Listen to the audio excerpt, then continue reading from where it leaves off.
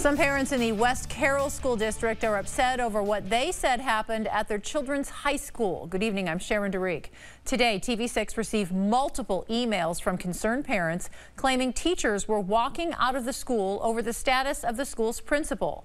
While on scene, our crew saw students leaving the school district. The district superintendent spoke off camera to our reporter and said there was nothing going on. But one parent who wanted answers didn't feel she got them about what was really happening.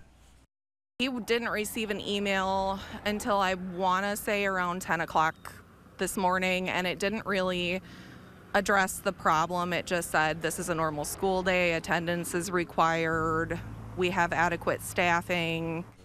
Tonight there is a scheduled meeting with the West Carroll School Board. That meeting starts at 6 o'clock. We are sending a crew to see if we can learn more about what happened today at the high school.